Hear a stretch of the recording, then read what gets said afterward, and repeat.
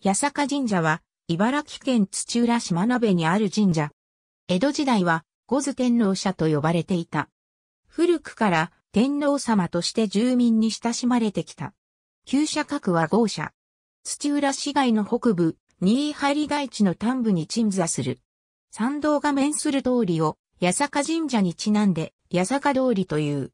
江戸時代は、筑波街道といい、東にある土浦はじめ高前交差点が、旧水戸街道との分岐点だった。真鍋から筑波山へと至る街道であり、現在の筑波道も、その一部である。八坂神社の旧市と伝わる大型も、旧筑波街道沿いにある。旧水戸街道を桜川定地に向けて下る一方通行の坂は、旧真鍋宿であり、この通りを真鍋宿通りという。付近には、八坂神社のほか、鹿島神社、愛宕神社、石山神社、善王寺、新延寺といった神社仏閣が点在している。江戸時代、土浦城の鎮守として、土浦藩藩主である土屋氏の厚い数形を受けた。霊祭では、土浦城中に神輿を繰り込み、神事を行っていた。拝殿の屋根にある三つ石の家紋は土屋氏のものである。古くは、霊祭で土浦城中に神輿を渡御するのは真鍋地区の役割であり、巡行も行われていた。しかし、明治元年、八坂神社は土浦町の鎮守となり、宇治国域としては、新川右岸の旧土浦市街が定められた。これにより、真鍋台に鎮座しているが、社地周辺には、宇治国域を持たない神社となった。ちなみに、真鍋の鎮守は、八坂神社より南東に位置する鹿島神社である。新川橋が真鍋と旧市街の境界となっている。昇魂社、稲荷神社の2社がある。例祭は7月下旬に4日間にわたって行われる。イベント名としては、土浦祇園祭という。みこしが旧市街を巡行し、各町内から出しや獅子が出される。江戸時代の城下町祭礼を継承したものであり、土浦市街で行われる祭事として古い歴史を持つ。茨城県南部を代表する都市の祭礼でありながら、宗教行事、伝統行事としての属性が維持されている一方、市街再興や観光誘致といった観光行事としての意識には乏しいという見方がある。それを反映してか、観光入り込み客数の推計では10万人未満のイベントに長年止まっている。八坂神社霊祭の開催期間である7月下旬には、旧土浦市各町の祭礼が集中している。その他、茨城県南部の他地域でも夏祭りとして祇園祭を行っている地域が多い。祭神や境内者にスサノオ村を祀る神社だけでなく、五頭天皇信仰と無関係と考えられる神社が祇園祭を行っている場合がある。こうした夏の地域祭礼を祇園祭と称する傾向を俗にもらい、祇園という。創建は不詳である。近世、歴代土浦藩主の庇護を受け、常中で神事を行っていた大こそだが、不見合者、明治神社資料には、創立年代妻びら必ずといえども、現行3年、小田春久社殿を、再治すと、サルデン府、地来生成の優秀数形、厚く、たびたび社殿の修理を加え、再資料を寄付したりという、女地四国三都九省優セリ、社記、明治6年号社に列。社殿は、本殿、拝殿、平殿、等を具備し、境内坪数1203坪ありと、ごく簡潔な取材しかなされておらず、零細日に関する記述もない。由緒は、境内の由緒碑や茨城県神社庁新張支部、神社データベースカミラに記されている。由緒碑は、平成19年7月に建立された新しいもので、特に社殿の造営等に関する情報が詳細に記されている。ただし、大型から身体が流された経緯については、戦前の郷土史等に社殿とは異なる伝承が記載されている。八坂神社の神霊は、筑波山地の南麓にある大行の霊地に降りたもので、大型村で祀られていた。しかし大型村で疫病が発生したため、これを鎮めるために祭礼を廃して、身体を桜川に流した。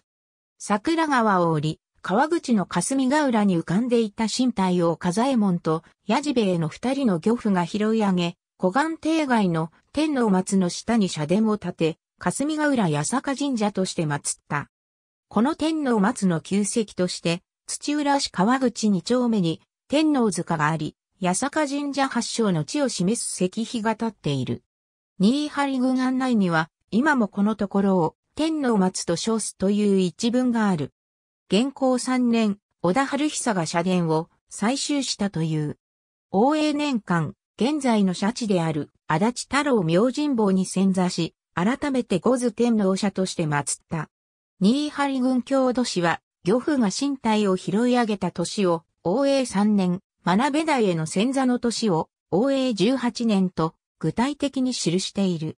大型村から身体が流された経緯については、五代五天皇が、武家征伐の臨火期を、小田城主春久が、大型村に祭りし身体なりとその箱後に、天皇正罰厳重にて、農民とも持ち子危険行と川へ流す云々という、疫病説とは異なる伝承を記している。小田春久は、北条高時に返記を受け、当初小田高知を称し、現行の乱では鎌倉幕府軍として参戦した。しかし、鎌倉幕府倒幕の後は、後醍醐天皇に仕え、送り名の御事地から一時を取って、春久に改名した人物である。征伐の臨時とは、現行三年、後醍醐天皇が戦場山の戦いにおいて、鎌倉幕府倒幕に向けて、決起を命じた臨時である。現行三年の小田春久による、社言祭治の伝承と何らかの関係があるとも考えられる。疫病の蔓延を鎮めるほか、何らかの理由により、ある村落が駅神である。五頭天皇の身体を川に流し、それを別の村落が拾い上げる云々という伝承は、茨城県南部のスサノオ村を祀る、旧五頭天皇社の由緒に時折見られる。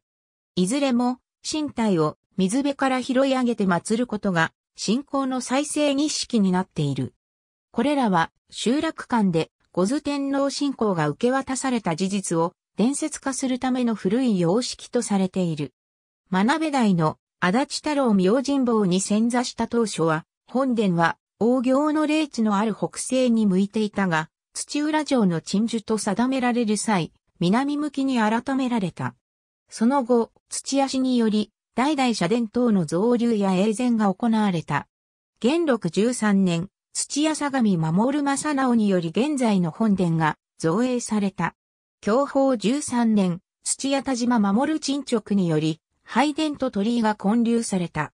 共和元年、土屋田島森秀近により、拝殿鳥居等の修復が行われ、本殿に彫刻が施された。天保2年、土屋相模守により、本殿が再治された。